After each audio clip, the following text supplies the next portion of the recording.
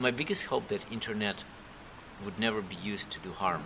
It would never be a war field. It would never be a means to develop uh, a weapon or a means to start or continue a war, either explicit or implicit, including espionage and other things. So I hope that the internet would help people to um, keep their morals high and channels open while maintaining their privacy and security.